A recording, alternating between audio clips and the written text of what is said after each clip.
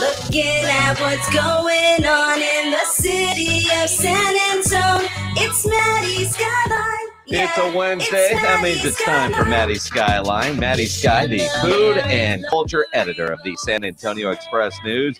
Joining us here on the Blitz, he's Joe Reinagel. I'm Jason Minnix. Maddy Skye. Boy, it must be a slow day at the office. Your hair is done, the makeup's on, the lighting is good. How's your Wednesday, Maddy? It's actually a very busy Wednesday. I've just been like on it today. Like after this, I have another story to write. Uh, I'm, I've been busy all day, but I actually cooked myself some lunch. You're right. I did my. I, got, I went to the gym this morning. Wow. So, no, I'm on it. I'm on it today. This is just my natural hair, by the way. I didn't do anything to it. Well, normally uh, I can tell, um, you know, if it's up, kind of hidden, kind of whatever. You know, now it's like this is all right. Fair enough. For And those have a bunch watching, you know what I'm saying. Talk about. Huh? Wow, I have a bunch of stories to talk about too. Well, let's get into Well, it. yeah. What are you writing about? What you you say you're going to get off of this and write about something? What is it? Can you tell us? Oh, uh, unfortunately, that is not so much of a positive story. We had uh, vandalism downtown of a really beloved French restaurant. I'm not going to try pronouncing the name because I'll butcher it. I've been there though. Um, it was a spot that we would eat at a lot when we were in office. Um, so I'm, I'm writing up that because it's really cool. Um, you know, San Antonio always rally support, and the cool part about it is that there is a GoFundMe um, created to support them through their their uh, incident. But we have had a lot of fun stories recently. I tried five different Whataburger orders, which was Oh wow. such a hard task for me, such a hard assignment. Well, well, but, but what, what's interesting about that, and I wanted to ask you about that because you solicited uh, your your readers and followers to send you their special orders at Whataburger, Yeah. and you were going to go try five of them.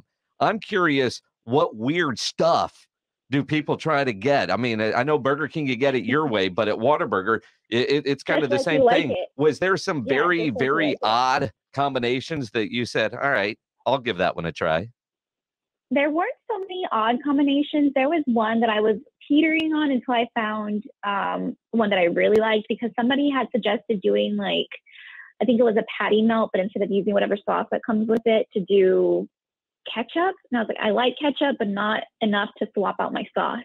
But I will say there are some that I really wanted to try, but I A, could not find time to wake up that early, and B, didn't want to eat that late. But apparently, if you order a burger during breakfast hours, which is 11 p.m. to 11 a.m., you can get a fried egg on your burger. Oh wow. Have you never put a fried egg on your burger?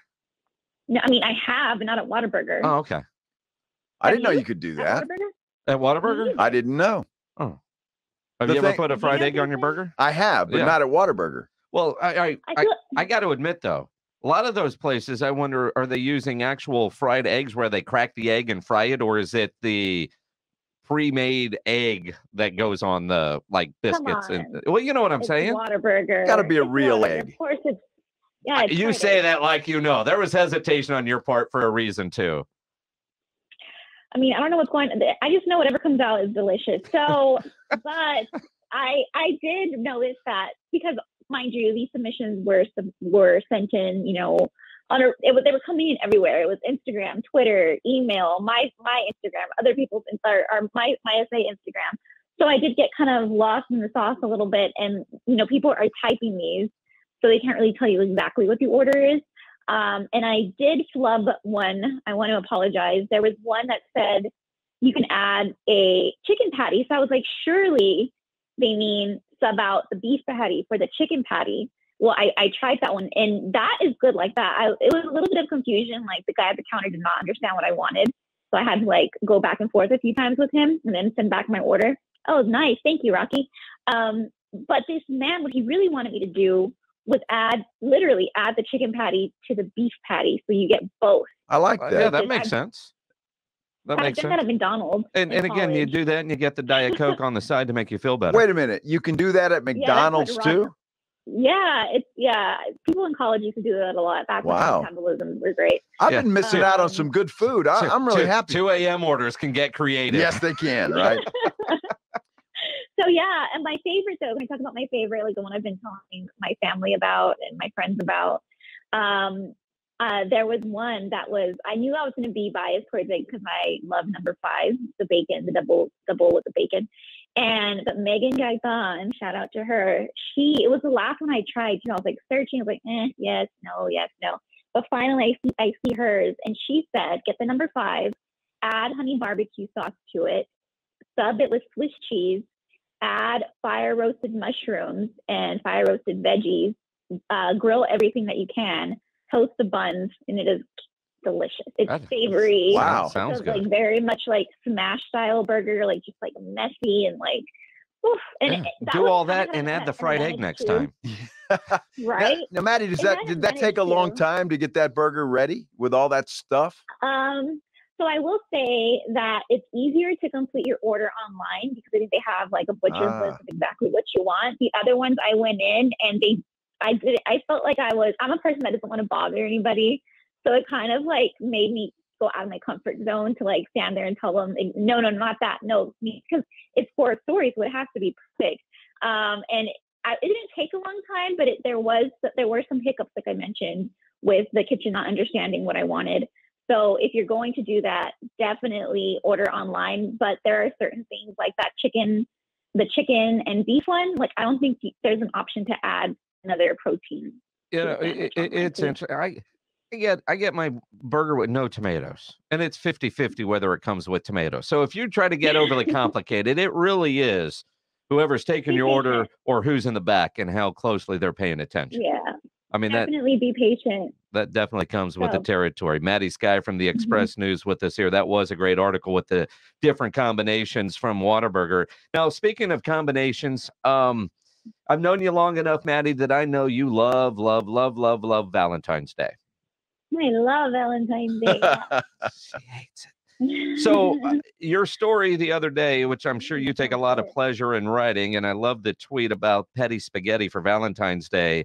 The zoos cry me a cockroach fundraiser that they're doing again for Valentine's Day. Somehow I could just see the smile on your face as you were putting that article together. So that's actually my staff member Camille that wrote it. Uh, I, could see the smile on your notes face as you were reading that article. yeah. Well, it was so funny because we, I- since I am her editor and we're, you know, working remote, I edit with her. Uh, we screen share and I go through everything with her. And her, she's just really funny too. So go read everything Camille writes.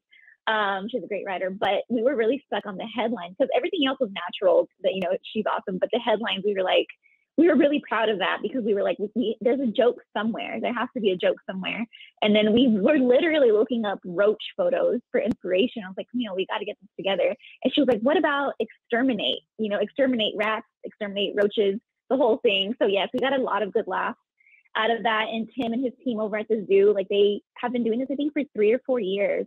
And every time it comes out, it like gets so such big attention. I think one year, like CNN picked it up. It's a great because it was promotion. Wow, so It's yeah. a trendy. great I would never do it. Surprisingly, I would never. I wouldn't waste the time or money on my. It's a exes. They're fundraiser for the worth it. zoo, and you've got plenty of X's that you could feed those roaches to. I mean, I know you well enough, Plenty Maddy. I mean, this is this is this is right up your alley. Wait a minute, that's a whole nother story in itself. How many X's do you have, Maddy? We don't talk about that. Um, I plead the fifth. We- They're not worth talking. Let's not give them their time. They're worth a roach. Maybe. Some They're of the them. cockroaches but that they Yes. are. I do see them as cockroaches. That's true. Just kidding. I'm not, I'm not, let's not go down that route. Oh, the show's getting good now. Wait a minute. Confessions with Maddy Skye. Yeah, that's the 745 Yes. segment. we'll do that at uh, Maddy Skye After Dark. That'll be the new podcast. we would need a whole other hour to just we- we- we- all their, we- all their tomfoolery. we would. Maddy, before we let you go and we're running up against the time wall, I want to ask you about something that Ryan Nagel and I experienced the other day.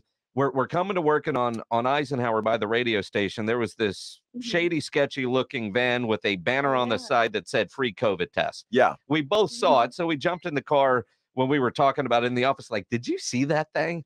And we went over there and took photos of it. And we're glad we didn't get shot at while we were doing our investigative journalism, right? right. But um, but by the way, the van wasn't there today. It's not there. It- it- yeah. it- it's not there today. I, I- saw your post on Instagram. uh, maybe, but uh, but are there apparently there's lots of these shady looking vans everywhere. Um, but you had an article not long ago about scammer COVID sites. Right. Yes. So I thought I had gone to one. Long story short, I didn't. And long story short, I did get catch COVID weeks ago.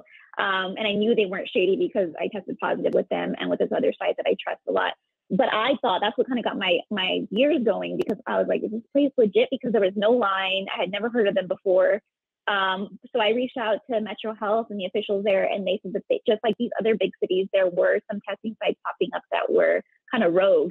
And the biggest sign that should tell you that it is illegitimate or you know not the real thing is if they ask you for a social security number or if they ask you for any payment because those things should not be happening. Um, and of course, if there's no like, no signage, if you can always if you're not able to contact like the main office and that's kind of suspicious um, you saw I, photos of that van. Would you get tested there? Probably not. Probably not. But if they said free tacos, I'd probably show up. Well, well, I mean, that's it. I mean, maybe the test was free, but the results were expensive. Or... It was the ice cream man. I'm convinced of it, right? So I think you got a popsicle or a you know frozen fudge pop or I something. I don't know that I would even want ice cream out of that van. I mean, that's where you go to yeah. get things. it was the crazy thing is that no nobody knows where the information is going. Well, that's it. So that's I, I mean, because I've heard of people that were doing or they would go get tested and never got their results. Right. Yeah. And you kind of wonder, okay, yeah. so were they just sending it in so they get paid from the government, but never really mm-hmm. testing? They just showed that they swabbed so many people. I, I don't know. It just looks shady as hell. And the fact that it's not there today.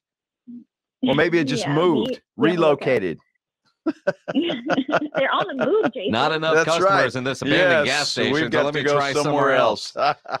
uh, of all the creepy things I've seen on Austin Highway through the years, that that was that's that right was up creepy. there at the top. Yeah, that yeah. was creepy. Yeah, Maddy, enjoy your week. Appreciate the time. Thanks, guys. Have fun. See y'all. Maddy Bye. Skye from the San Antonio Express News and MySA she joins us every Wednesday.